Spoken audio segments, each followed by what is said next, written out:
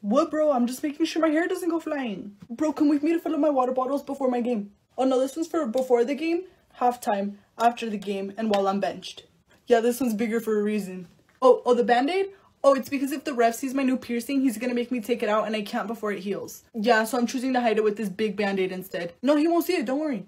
Carlos, are you coming to my game tonight? No, no, I promise, I'll promise I'll get coach to put me in this time. Yes, and I promise we won't lose 25 to 0 this time. Yes, it'll be worth it to go this time, come on. Bro, I'm actually failing five classes and coach isn't gonna let me play. What do I do? Yeah, well, I also don't think it's fair because one of the classes that I'm failing is his. Yes, my soccer coach is also my math teacher. We're a broke school. Oh, you guys are trying to hang out after school? I can't have practice. Hey, bro, you got icy hot? No, but the spray, I don't like the lotion. It smells nasty. Anyway, I'll see you at my game tonight, right?